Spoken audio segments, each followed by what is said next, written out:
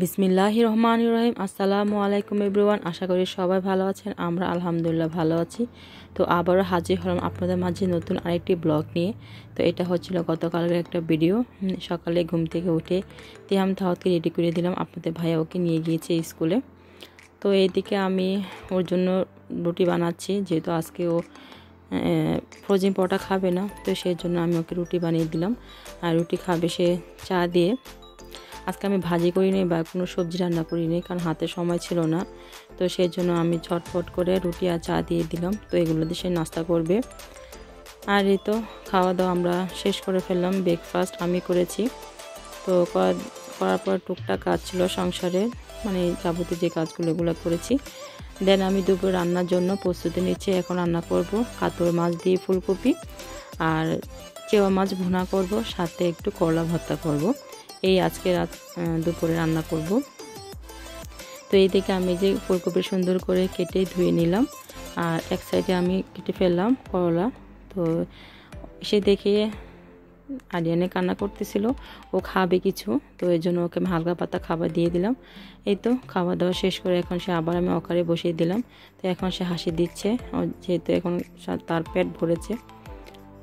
তো একটু কান্নাকাটি করে ক্ষুদা লাগলে না হলে আর তেমন এখন কান্নাকাটি করে না। তো যাই হোক, সবাই দোয়া করবেন আমার আলিয়ানের জন্য। আল্লাহ যেন সবসময় সুস্থ রাখে, ভালো রাখে। তো এইদিকে আমি ওখানে বসিয়ে দিয়ে দেন রান্নাটা শুরু করলাম আবার। তো রান্না করতে করতে হঠাৎ করে আমার টাইম হয়ে গিয়েছিল। তিহাম দাহাত স্কুলতে আনতে হবে। যেহেতু আপনাদের ভাইয়া আজকে একটু কাজ আছে, তো সেই জন্য ও আজকে যাবে না, আমিই যাব। তো এই তো আমি এখন বের হয়ে গেলাম। তো বাহিরে প্রচণ্ড পরিমাণ ঠান্ডা ছিল, প্লাস বৃষ্টি ছিল। তো আমি ভুলে গিয়েছিলাম গ্লাভস নিতে। তো আমি যেহেতু নিয়ে সেজন্য আমার হাতটা অনেক ঠান্ডা হয়ে গিয়েছিল। তো পরে আমি ভিডিওটা আর অফ করে দিলাম, কারণ আমার দ্বারা সম্ভব হচ্ছিল না। তো এই তো বাচ্চাদের স্কুল থেকে নিয়ে এসলাম। নিয়ে এসে আমি আবার রান্না কমপ্লিট করলাম। তো এই যে আমি করলা ভেজে নেব, সাথে আমি এখন ভর্তা বানাবো, করলা ভর্তা। তো তাড়াতাড়ি তাড়াতাড়ি করতেছিলাম, কারণ যেহেতু দুপুরে একটু দেরি হয়ে গিয়েছিল আজকে রান্না করতেও। কারণ বাচ্চা যেহেতু থাকে, তো বাচ্চা থাকে একটু কাজ থাকে বেশি। এগুলো এই কাজ শেষ না করতে আরেক কাজ মানে সারাক্ষণে একটা একটা কাজ করতে হয়। আর আমার মনে হয় মা, মায়েদের কখনো কখনো ছুটি হয় না। তো এইটাই, তো যাই হোক, আমি আবার এখানে ভাবছিলাম আর আমি আরিয়ানকে একটু ইয়ে করছিলাম যে দেখি আরিয়ানে কী করতেছে। তো আরিয়ান দেখি আলহামদুলিল্লাহ ও ওয়াকারি বসে আছে। তো তাড়াহুড়া করে আমি এখন বাটিতে খাবারগুলো বেড়ে নিব, টেবিলে দিব। তো তাহিদও আজকে হঠাৎ করে বলতেছে, আজকে দুপুরে ভাত খাবে সে। এমনি তো সব সময় ভাত খায় না দুপুরে তিয়াম তাহিদে। আর তিয়াম খাবে না, কারণ আজকে তো আমি মাংস রান্না করিনি। মুড়ির মাংস বা গরুর গোস্ত যেটাই, আমি কিছু রান্না করে শুধু সবজি রান্না করেছিলাম। আর এই তো, আর মাছ রান্না করেছি। দেখি ও পরে কী দিয়ে খাবে, জানি না।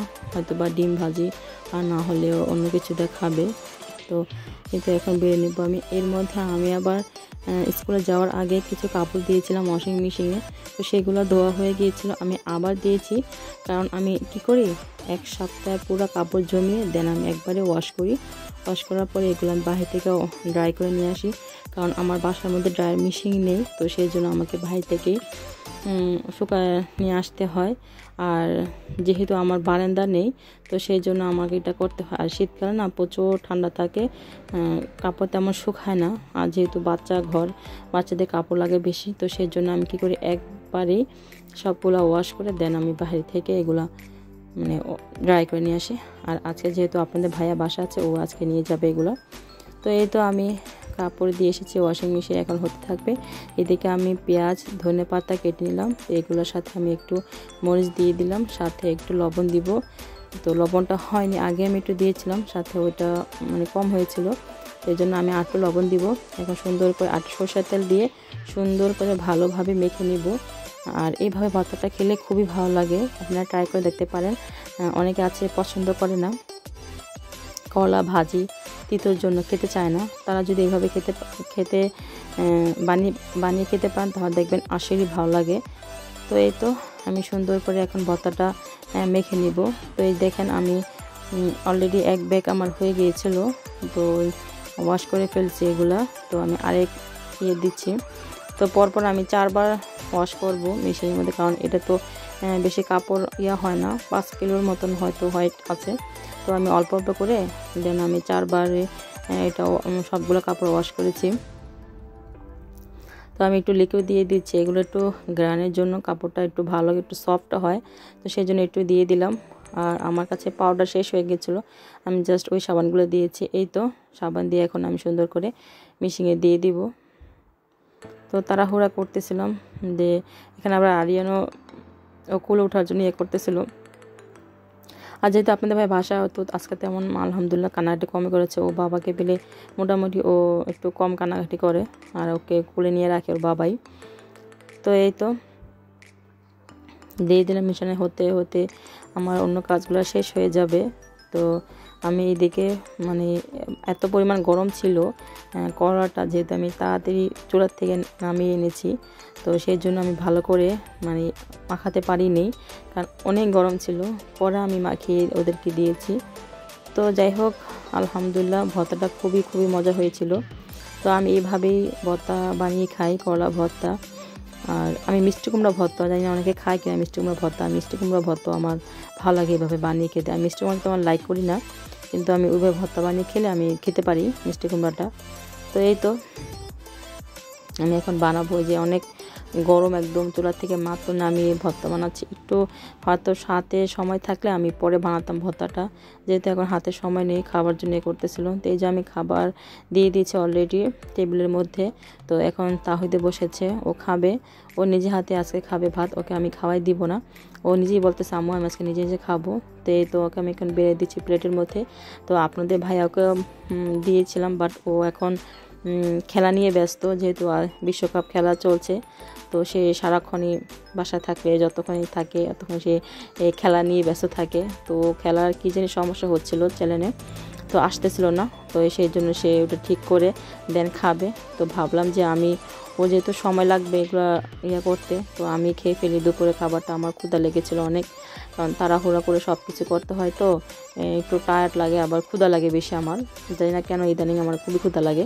তো আমি খেয়ে ফেললাম দুপুরে খাবারটা। তো যে দুপুরে খাওয়া দাওয়া শেষ করে আমি একটু রেস্ট নিয়েছিলাম। এর মধ্যে এই যে প্লেটগুলো সবগুলো ক্লিন করেছি আর ইনকে আবার খাবার দিয়েছিলাম। ওর ভারী খাবারটা যে দুপুরে যেটা, তো এটা খাওয়া দাওয়া শেষ করে দেন একটু রেস্ট নিয়েছি। কারণ ও যে আরিয়ানে ঘুমাবে, তো ওকে না নিয়ে শুলেও ঘুমায় না, খুবই কম ঘুমায়। তো এই যে ওর তাহিদের দিকে হঠাৎ করে কাটা ঢুকেছে মাছের, তো সে ইয়ে করতেছিল, বমি বমি করতেছিল। তো বললাম, তুমি ফেলে দাও আমি তোমাকে ভাত দিচ্ছি, ভাত খাও, তাহলে চলে যাবে। তো এই তো এটা হচ্ছিল বিকালের দিকে। আমি বিকালে হঠাৎ করে চিন্তা করলাম যে কী বানাবো বিকাল নাস্তা যদি আপনাদের ভাইয়া বাসা আছে, তো ভাবলাম যে আজকে বানাবো ডিমের সামাই। তো এটা খুবই মজা এই সামাইটা, খুবই ভালো লাগে খেতে। তো আমি এদিকে একটা সুন্দর করে হাঁড়ি বসিয়ে দিলাম। তো এটার মধ্যে আমি দেন একটু ঘি দিয়েছি, ঘি চার, পাঁচ চামচ দিয়েছি। তো এর সাথে আমি এখন ইয়েগুলো দিয়ে দিব সামাইগুলো দিয়ে দিব। আমি সামাই বলে লাচ্ছি সামাইটা নিয়ে আমি ইয়ে সামাইটা নিয়েছি, লম্বা সামাইটা তো এই যে এটা আমি ভালো করে আমি এক প্যাকেট নিয়েছি। তো আরেক প্যাকেট নিলে হয়তো বা বেশি হয়ে যাবে, সেই জন্য আমি এক প্যাকেটই ইয়ে করেছি। আর ভাবলাম যে বাচ্চারা খায় কি না খায় তো এই জন্য আমি অল্প করেই বানিয়েছিলাম এক প্যাকেট। তো আলহামদুলিল্লাহ বাচ্চারাও খেতে পেরেছে, ওরা খেয়েছে, ওদের কাছে ভালো লেগেছিলো সময়টা দেখে আবার নেক্সট টাইম আবার বানাবো, বেশি করে বানাবো, তখন ওরা খেতে পারবে। তো এটা আমি সুন্দর করে এগুলো এখন ভেঙে নিয়ে দেন আমি এগুলো ভাজবো সুন্দর করে। আর আমি আঁচটা খুবই কমই দিব, কারণ বেশি হিটে দিলে ওটা পড়ে যেতে সম্ভাবনা থাকে পুড়ে যাওয়ার জন্য। তো সেই জন্য আমি আস্তে আস্তে করে এগুলো অনেকক্ষণ ধরে ভাজবো, সুন্দর করে ভেজে নেব।